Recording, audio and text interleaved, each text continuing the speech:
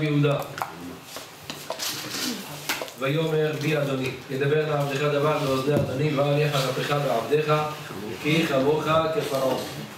ויגש אליו יהודה תשמעו רמז יפה שאומר הגאון מווילנה טעמי המקרא ועד ויגש אליו אנחנו קוראים את זה אזלה גריש אבל האשכנזים קוראים לזה קדמה אזלה. קדמה אזלה. ויגש אליו קדמה אזלה. יהודה זה רביע עכשיו.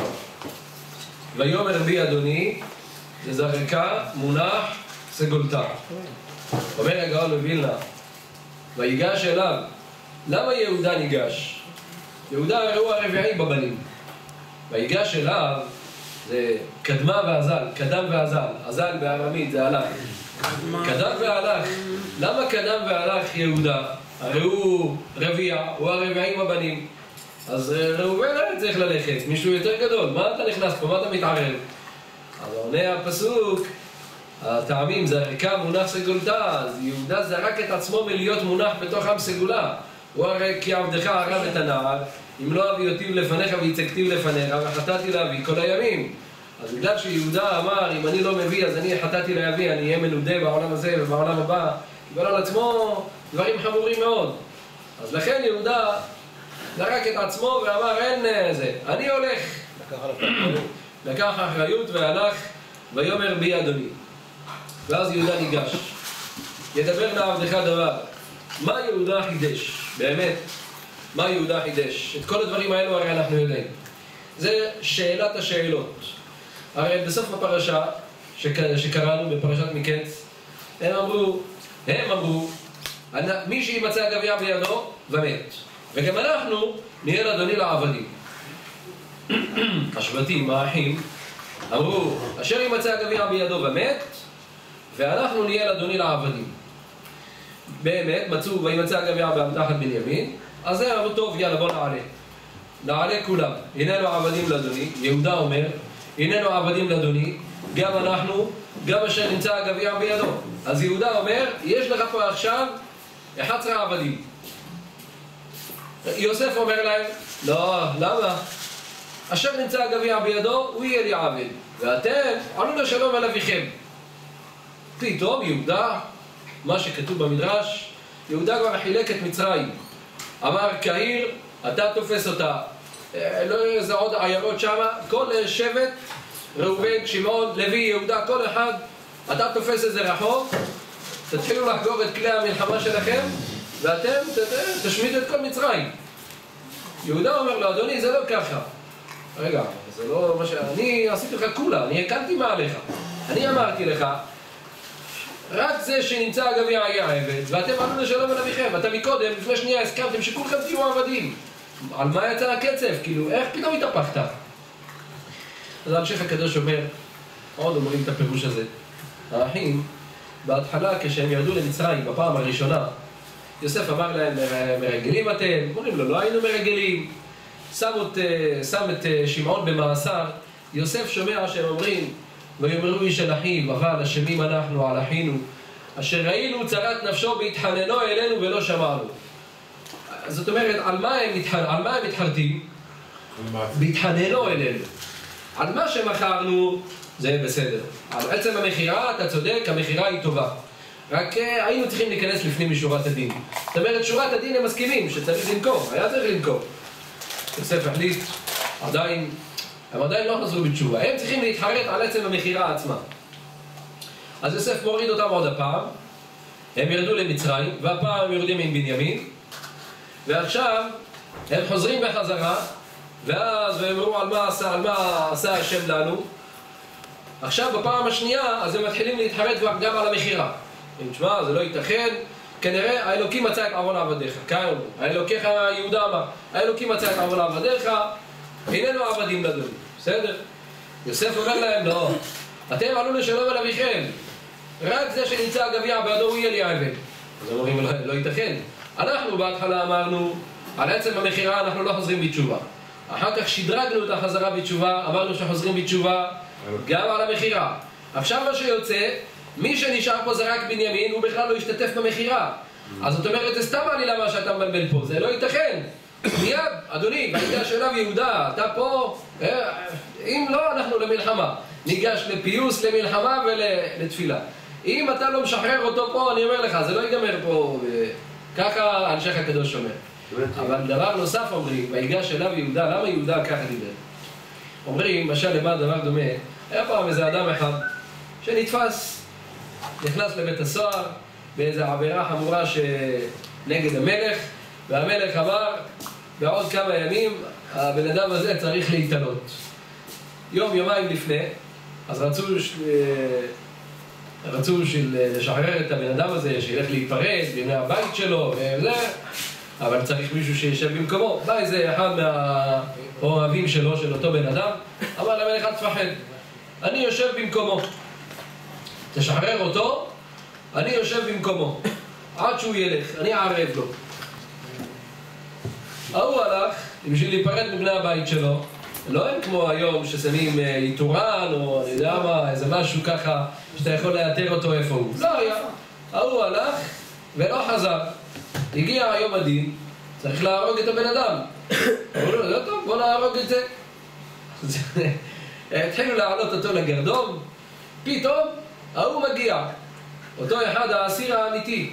לא, לא, מכניס את עצמו לאזיקים, תהרגו אותי, תהרגו אותי. ההוא אמר לו, לא, זהו, עזוב, אני כבר גמרתי בנפשי שאני הולך למות, עזוב, זהו, אני הולך כפרה עליך. אומר לו, לא, מה פתאום? אז הם מתחילים עכשיו להתווכח מי ימות, זה או זה. זה אומר, אני, אני אלך. וזה אומר, לא, לא, מה פתאום, זה... כשהמלך ראה את זה, אז הוא אמר להם, שניכם משוחררים, רק תשתפו אותי לחברות שיש לכם. למה? מה הוא התכוון להגיד בזה? המלך אמר, תראה, אני צריך להעניש עכשיו את הבן אדם הזה בגלל שהוא עשה עבירה מסוימת.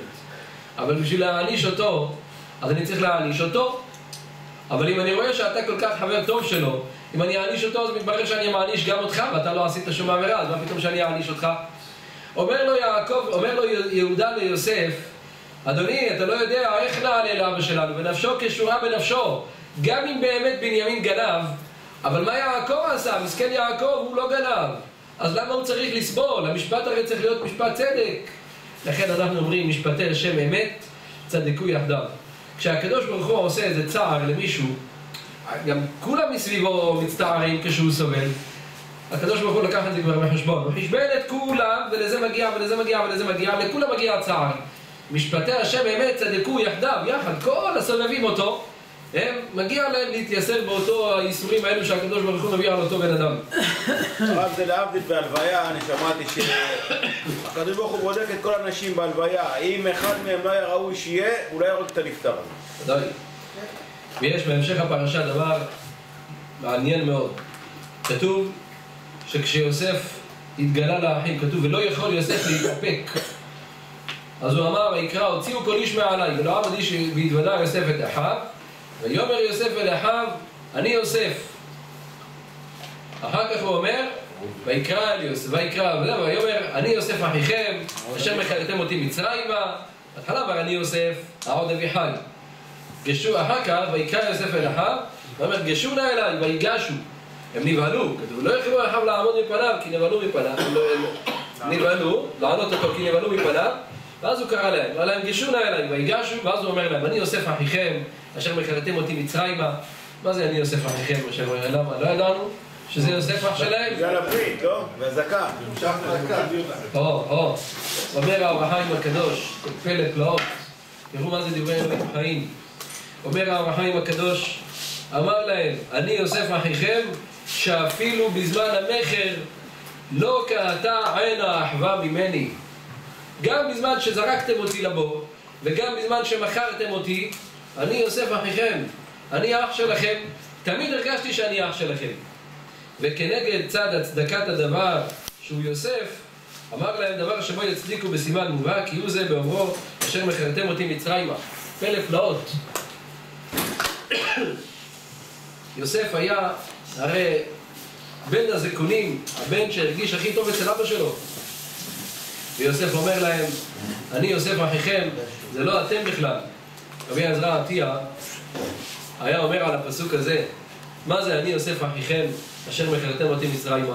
אז הוא מבין מה שכתוב, כשדוד המלך אמר על אבשלום, אז כתוב, אמר בני אבשלום, אבשלום בני, בני, ככה שמונה פעמים. אומרת הגמרא במסכת סוטה, שהוא אמר שמונה פעמים, שבע פעמים להעלות אותו משבעה מדורי גיהינום, והפעם השמינית בשביל להכניס אותו לגן העדן. ככה דוד אמר. אז הוא שואל, רבי נתנאי בשיץ, איך בדיוק, מה זה בני, מה זה גימטריה קדיש? אני יודע שבקדיש זה עושה נחת רוח לנת, למת, לנפטר. אבל כשדוד אמר, בני, בני, בני, איפה זה בני? למה בני זה קדיש? איך הוא מעלה אותו? בשמונה פעמים שדוד אמר, העלה אותו. אומר רבי נתנאי בשיץ, מה עיקר הקפדה שהייתה עליו שלום? כבר הקפדה, איך אתה, איך יכול להיות שאתה עושה כזה דבר לאבא שלך? אתה לא מתבייש? דוד מלך ישראל, ואתה עושה כזה דבר. אז זו הייתה קפידה שבשביל זה הוריד אותו לשבע, למדור השביעי בגיהינום. אז דוד רצה לעורר עליו דברי סנגוריה. אז דוד אמר, זה אבשלום, בני, בני, זה בני, זה בן שלי. ראית פעם בן שעושה כזה דבר לאבא שלו? הייתכן כדבר הזה? לא. לפי ההיגיון הרגיל זה לא ייתכן. אז איך בכל זאת הוא עשה? כנראה שהקדוש ברוך הוא גזר הנני מקים רעה מביתך, ככה הקדוש ברוך הוא אמר לדוד. אז מה אתה רוצה? זה גזירה משמיים. זה לא הוא, זה גזירה משמיים. אז אם זה גזירה משמיים, אה, זה רבנו של העולם, אתה אשם, זה לא הוא. אז תעלה אותו, ככה אומר רבי נתן. אז הוא אומר לפי זה, זה מה שיוסף אמר להם. אני יוסף, אחיכם, אשר מכרתם אותי מצרימה. אני יוסף אח שלכם. ראיתם פעם שאח מוכר אח? לא. אז איך יכול להיות שמכרתם אותי מצרימה? לכן על כוחך, עתה אל תעצבו, ואל יחר בעליכם, כי למחיה שלך אני אלוקים לפניכם. זה לא אתם בכלל, זה מישהו אחר שהוריד אותי. הקדוש ברוך הוא סיבב את זה. החפץ חיים אומר, דבר פלא פלאות, הוא אומר, האחים, במשך 22 שנה, בסימן שאלה, כתוב, האלקוט שמעוני מביא במדרש, וישתו וישכרו עמו, מיום שהם מכרו את יוסף, לא שתו יין. מתי הם שתו יין? רק כשהגיעו ליוסף, וישתו וישכרו עמו. לכן בזה מסבירים למה כשיוסף אמר להם, אל תרגזו בדרך, רש"י מביא פירוש אחד, אל תפסיעו פסיעה גסה. אל תלכו מהר מדי. רגע, אבל למה יעקב אבינו לא אמר להם אל תפסיעו פסיעה גסה? רק יוסף אומר להם את זה, אל תפסיעו פסיעה גסה. גם יעקב לכאורה היה צריך להגיד להם כזה דבר. והם הולכים למצרים, שלא יזדרזו. הגמרא אומרת שאסור לאדם לפסוע פסיעה גסה, לא לרוץ יותר מדי כשאתה מרחיב את הפסיעות, כי זה לוקח אחד מחמש מאות ממאור עיניו של אדם. זה מוריד לו אחד חלקי חמש מאות מהראייה. הגמרא אומרת בברכות שאפשר להחזיר את זה. אם הוא מסתכל בכוס של הקידוש בליל שבת, מסתכל בגביע, זה מחזיר לו את הראייה שנחלשה. זה טוב למראה להסתכל שבת. אז יעקב לא היה צריך להגיד להם אל תפסעו פסיעה גסה. כי מיום שהם מכרו את יוסף, הם לא שתו יין. אז ודאי שהם לא יפסיעו פסיעה גסה, כי אין להם אפשרות להחזיר את הראייה שלהם. אבל כשהם הגיעו ליוסף, הם שתו יין, ויוסף עכשיו כבר גילה להם שהוא יוסף, אז עכשיו הם יכולים לפסוע פסיעה גסה, ולהגיד, טוב, מה הבעיה? נסתכל על היין בקידוש של ערב שבת, נחזיר את המאור עיניים. הוא אומר להם, יוסף, לא, לא, אל תפסעו פסיעה גסה, תלכו לאט לאט. ולמה באמת יוסף אמר להם ללכת לאט? בגלל שיוסף ידע שהכל מדוד. 22 שנה יעקב לא כיבד את אבא שלו, 22 שנה יוסף נתלש מאבא שלו גם כן.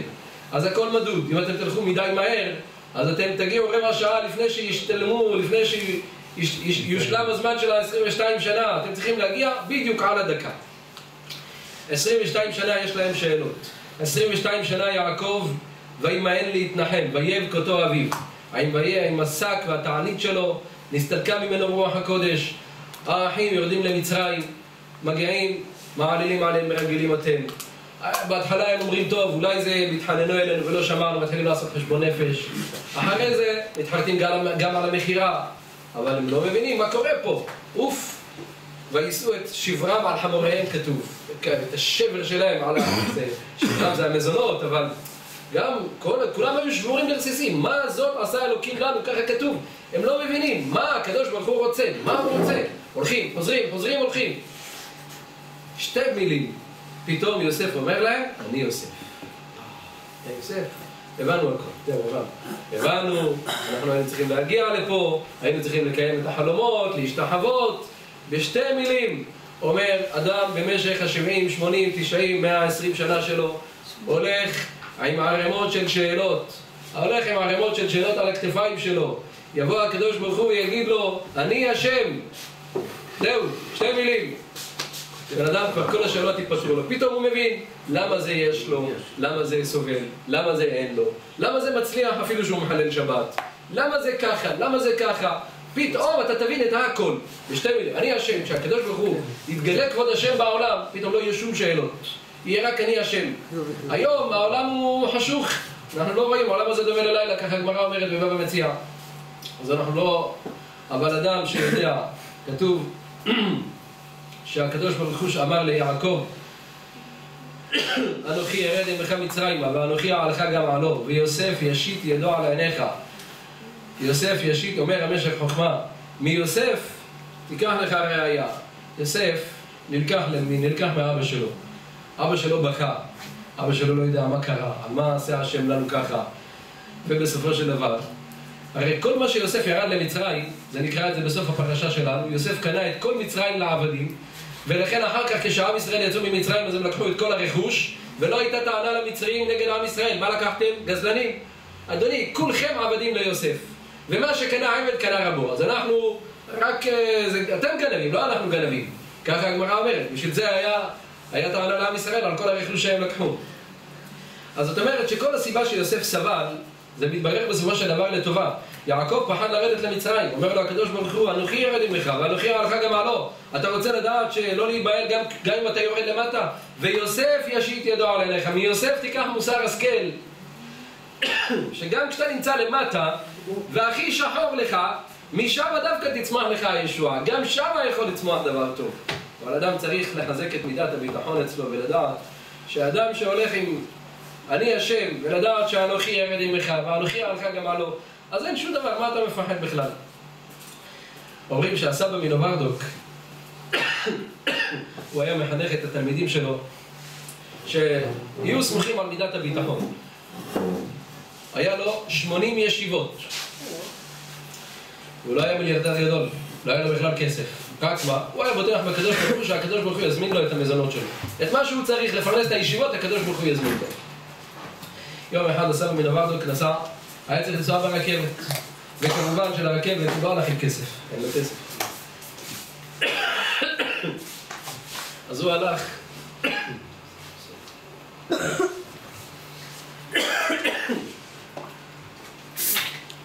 אז הוא הלך לתחנת רכבת, אין לו כסף. יושב ליד התחנת רכבת, והשם ישלח. הוא הגיע לתחנת רכבת, יושב שם, יושב שם בספסל,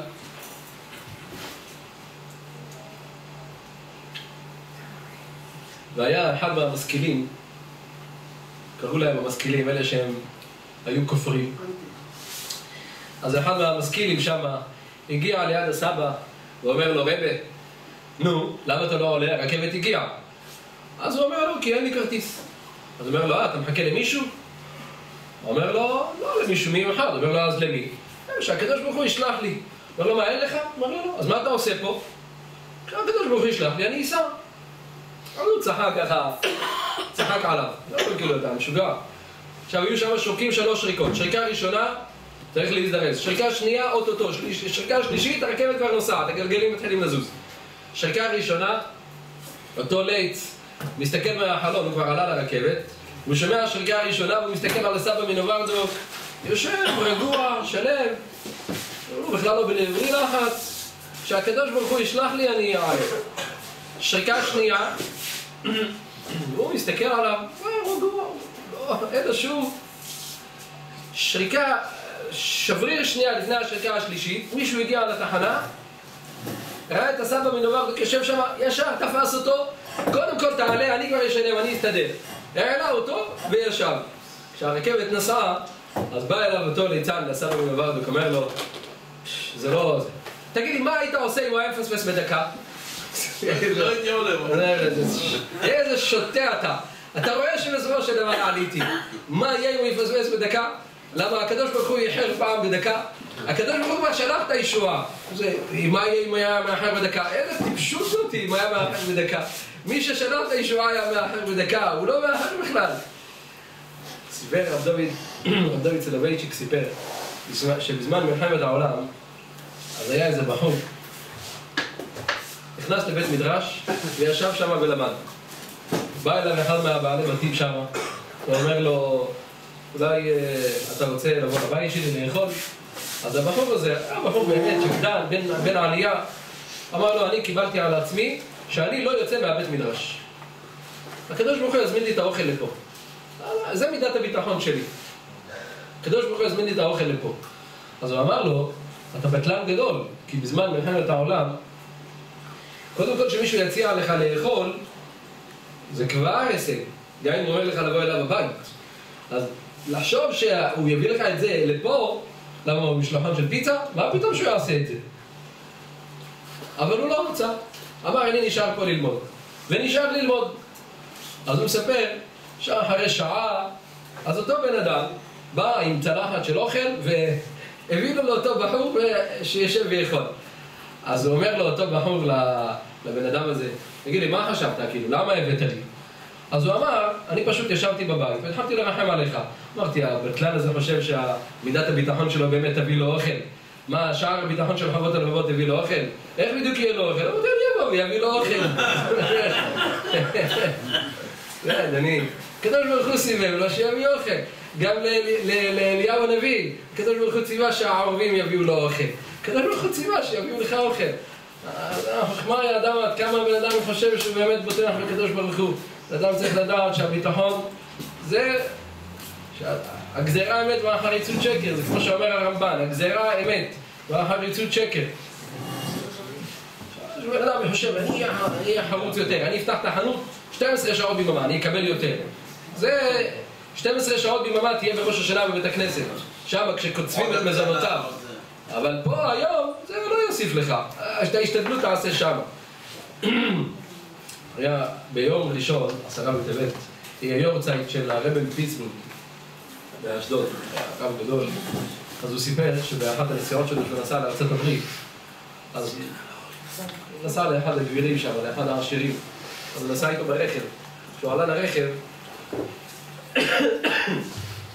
אז הוא רואה שהנהג בצד שמאל. נוסע, מסובב, הוא רואה שלידו, בצד ימין, יש גם כן הגה, כפתורים, הזה של הווישרי, הוא מאוד מתפלא, מה יש לו שם? אז שאל את אותו אדם, את אותו גביר, תגיד לי, מה זה, איך יכול להיות? מה זה פה, שני, שני נהגים, אז אתה צועק את ההגה ימינה ושמאלה, מה שיהיה פה זה... אז הוא אמר לו, לא, פשוט מאוד, יש לי ילד שיש לו יותר מדי קפיצים, הוא לא יכול לשבת, כשאני נוסע איתו, אז כל הזמן הוא מושך לי בהגה, לחץ על הכפתורים, מדליק את זה, מדליק את זה, מדליק את זה, אוף, אני לא יכול לנסוע איתו. אין, הילד הזה לא יכול, הוא לא רגוע. התייעצתי, חשבתי, אמרו לי, תעשה לו הגה דמה לידך, עם כפתורים, שיעשה כל מיני מנגינות או משהו כזה, והוא יישב לידך כל הנסיעה, וזהו, יהיה לך שקט. הוא אומר, ומאז באמת יש לי שקט תעשייתי. הוא יושב לידי, מסובב ימינה, מסובב שמאלה, לוחץ, עושה חזק יותר, והוא חושב שהוא נוסע, וכשהוא עוצר באדום הוא עצר, ובגללו אותו עצר, סובב ימינה, בגללו זה הסתובב. הוא אומר, הוא מחשב, הוא מבסוט מהרעיון. אז הרבי מפיטסבורג בא ואמר, כמה מוסר השכל למדתי מזה. הילד ההוא יושב שם ליד ההגה, הוא חושב שהוא מסובב ימינה, הוא חושב שזה הוא מסובב. זה לא אתה מסובב בכלל, זה אבא שלך מסובב. אומר בן אדם פה בעולם עושה ככה, עושה ככה, הוא חושב, אני עשיתי, אני הלכתי, אני הצלחתי, אני הרווחתי. זה לא אתה בכלל, זה ההגה די ממה שאתה עושה. יש מישהו למעלה עם הגה גדול, הוא מסובב את הכל, אתה עושה הכל פה. התפילה שלך, זה מה שיזיז פה דברים. ההשתדלות שלך, הביטחון, זה מה שיזיז דברים. פה, זה, זה כבר, זה דמה, זה לא... זה, זה מה שאנחנו לומדים. במידת הביטחון הזאת נלמד. להשריש בליבנו, שהקדוש ברוך הוא ייטע בליבנו אהבתו ויראתו, נזכה לעשות רצונו תמיד, אמן. ברוך אדוני. הרב, השיעור עולה נשמת אה, רינה נעים בטרות. רינה נעים בטרות. רינה נעים בטרות. היום יום חודשה, יום חודשה. ולרפואת רפי פרץ.